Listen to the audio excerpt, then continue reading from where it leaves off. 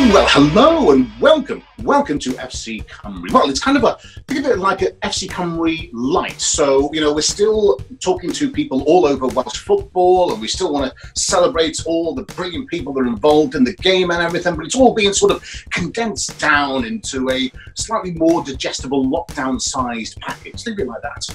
Yeah, absolutely. Listen, we wanted to pay tribute to you guys and everything you've been doing because we've been seeing charity work, we've been seeing uh, staying connected with your communities, the way you've been connecting with your youth teams and keeping everybody involved despite these crazy times. So we wanted to pay tribute to you, and that's going to come up delivered by that man over there.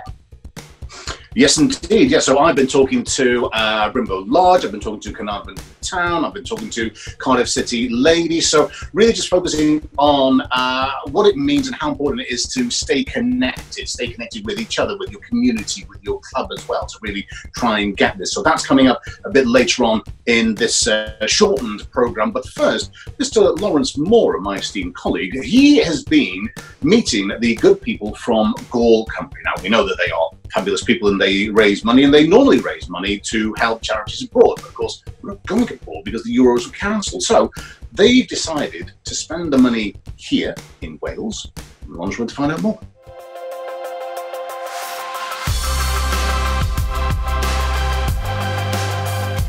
Well, listen, guys, thank you so much for joining us. Uh, going to be chatting all about Gôl Cymru. Tim, let's start with you. Uh, for those that don't know, give us a little overview about Gôl Cymru, how long you've been going, uh, and what is it you usually do?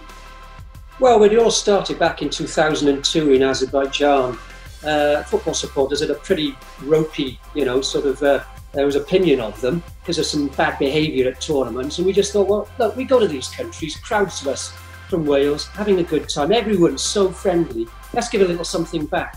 So it was just a sort of ad hoc thing. We raised money in a pub in Baku in 2002, and we went to some children's homes. The thing kind of snowballed from then. So every time Wales play, home or away, Gôl raises money from various activities, and we give to a children's charity or we visit a children's home and that kind of brings us round to this summer and obviously going back to Azerbaijan, being back in Baku again. And Tom, it was all kind of set up for, for what we were going to do and, and the Euros. And, and I guess you guys had plenty of plans for that as well, didn't you? Uh, yeah, we uh, we also had a, a, pre-Euro 2020 planning meeting. Um, we had lots of things planned. Um, we're all set tasks to go and you know look back at some of the places we visited previously. Um, new places within Rome, for example, as well. We, we met up uh, a few weeks back um, and reassessed the situation and decided to allocate funds towards local charities that are doing a lot of good work in this, uh, in this uh, pandemic. They're all charities that have been doing very good work locally for children affected by the COVID 19 crisis.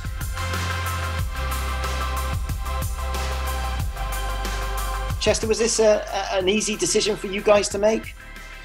Uh, yeah, absolutely. Um, as soon as we, we realised that we weren't going to be able to um, to visit, you know, the countries that we planned for during the Euros, um, we obviously don't know what the situation is going to be like towards the end of the year. But it doesn't look like international football is going to be returning um, anytime soon. And thanks to the great work that obviously the Wales fans have done over the years, it's enabled us to have a pretty healthy bank balance going into um, going into the Euros. So the money that we were going to spend uh, this summer has been easily, you know, transferred, and it gives us then the time to raise the funds again for when we do want to return to Azerbaijan, go on to Rome, maybe then Finland, Ireland, obviously, uh, if those games ever do get round to being played. Um, but yeah, you know, we saw that there was a, obviously a massive need um, back at home, you know, in, in, in Wales during this crisis, um, and we thought if there's any way that we can help, uh, why not? And um, yeah, because of the generosity of Wales fans, people like um, Lee James, who did that seven marathons in seven days for us, um, Steph Thomas, who died uh, a few years ago. He, um, his family uh, very kindly donated um, a lot of money to the charity as well, and that's put us in a really, really helpful position. Not, of course, to forget all the parties that, that are organised before the matches and everyone's individual donations too.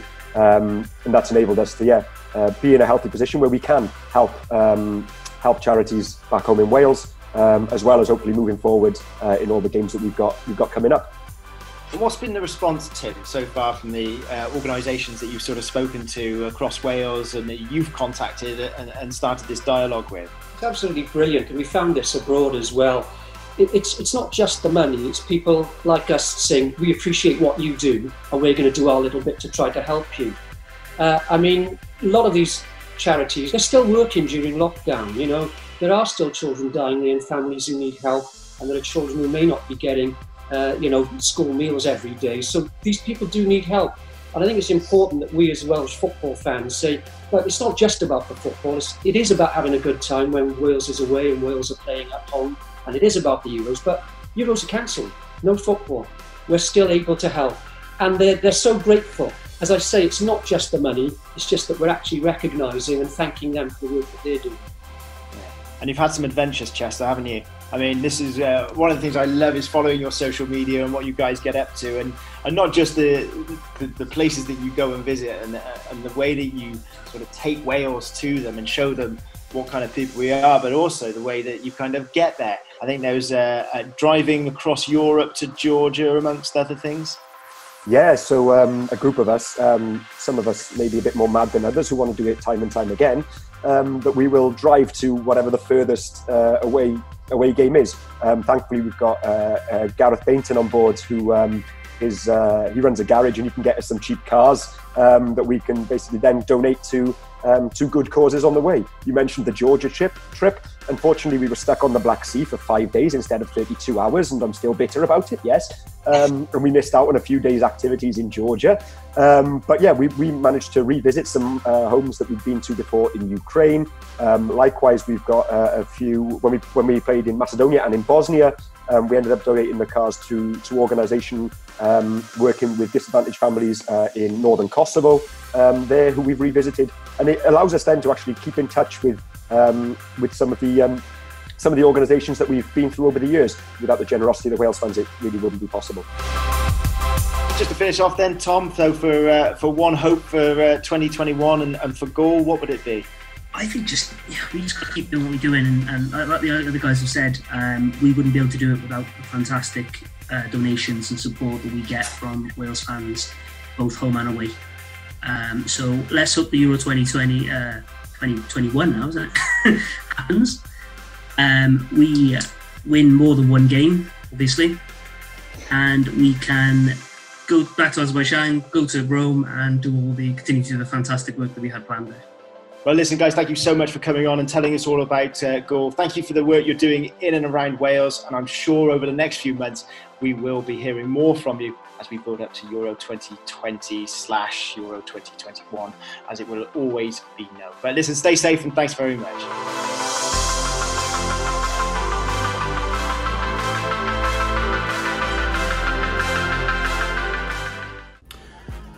While I've been sitting here, sipping tea, you good people have been way more active and inspirational, doing loads of amazing things, and it's just been fantastic to watch.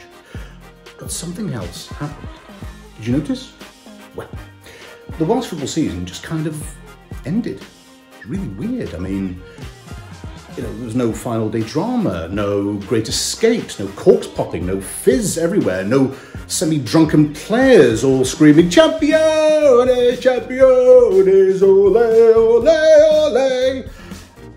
No TNS at the top of the Cymru Premier. It's just weird, but I mean, we have champions, and those champions must be celebrated. So, with a quick league roundup, start with Tom. Here of gold and lips like cherries, it's good to get a trophy back in the green, green grass. Oh,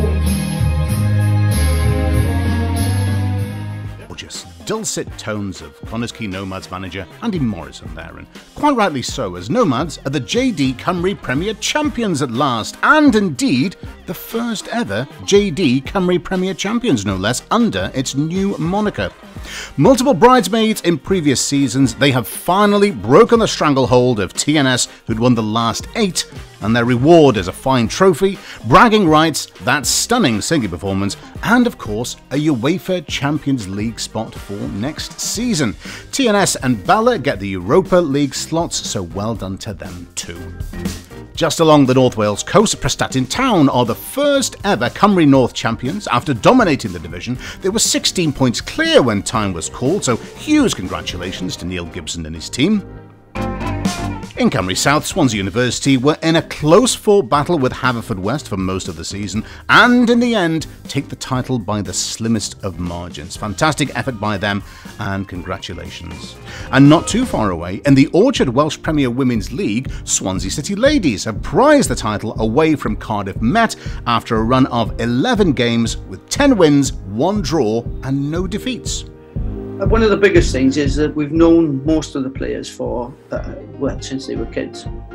Um, so they've come right through our system uh, from, you know, some of them eight, nine years of age, and now they're, you know, mid to late 30s. Uh, and we've been together all that time, highs and lows. So seeing the smiles on their faces and how they've developed and grown up and become the great mature players that they are now, that, that's a that's a real reward for me. We don't want things to be a one-off. We'd like to give it a bash again and do our best and keep going and keep raising the bar. It's a second title in four years for Swansea and their fourth in total, and it means they're into the Women's Champions League for next season. You know, we've got an academy full of young players. You know, something like this is a fantastic inspiration for them. Getting past that first hurdle would make a world of difference to football in Wales.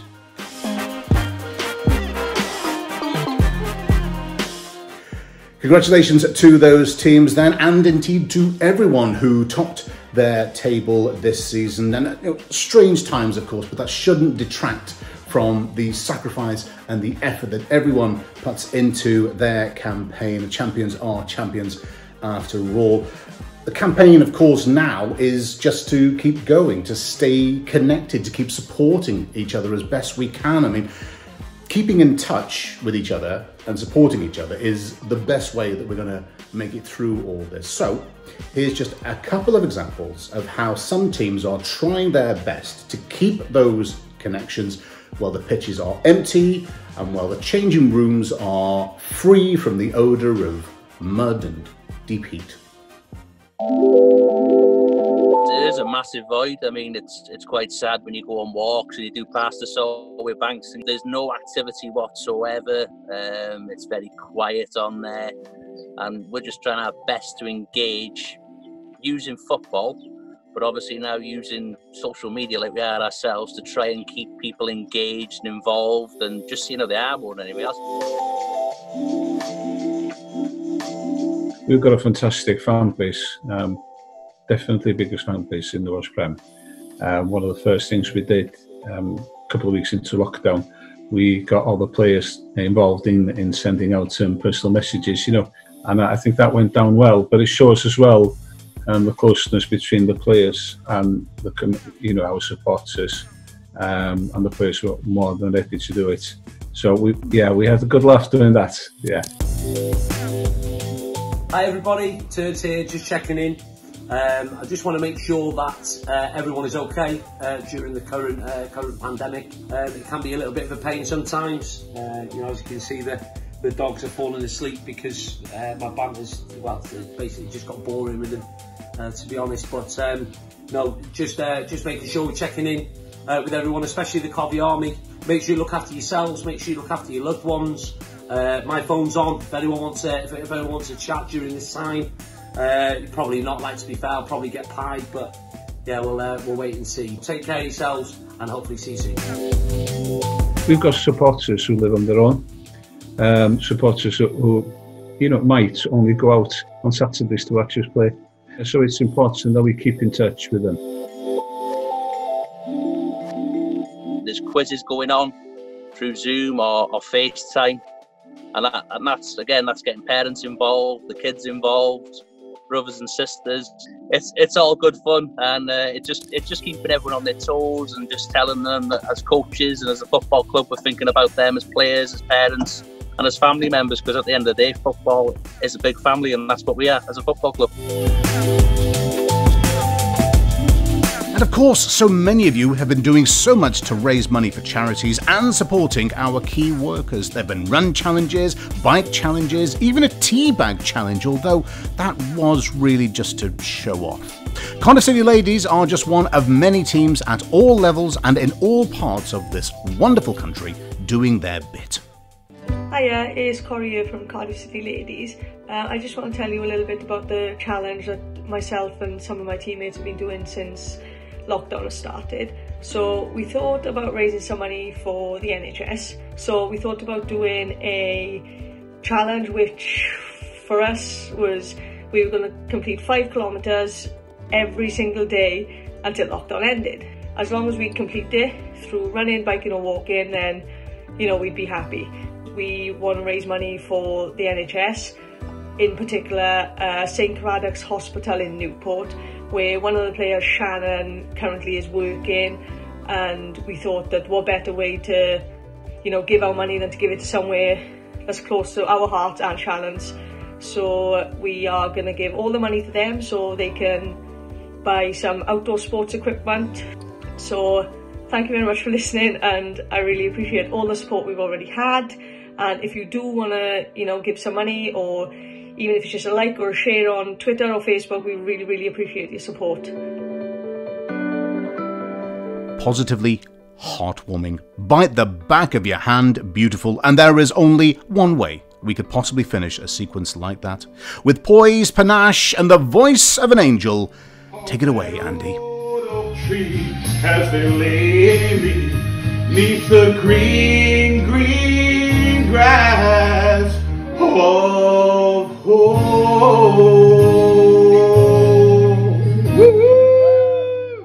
Ah, big feels, guys. Big feels. Well done to all of you. Uh, I'm sure there's plenty out there that we haven't managed to cover. Um, and that's why we've got loads of mini FC coverage coming up over the following weeks because we'll be uh, tracking back some of our old stories and finding out how some of the people we've been to visit uh, are getting on now. So uh, look across for those. But Alex, as ever, our social media details, they can stay connected with us as well, can't they? Yes, that's exactly what they're there for. They're around here somewhere. They're, they're around there, or maybe they're over there. Or they're over I, I, don't know. It depends on how the uh, the show is edited. I suppose that's that's up to somebody else. But the point is, we need to keep this going. We need to keep these connections going because that's what's going to get us through. And we need to keep reminding ourselves, remembering that Welsh, Welsh football is fabulous and there are loads of fabulous people in it and that we will be back and there are still great stories to tell. So let's carry on and tell them. See you soon.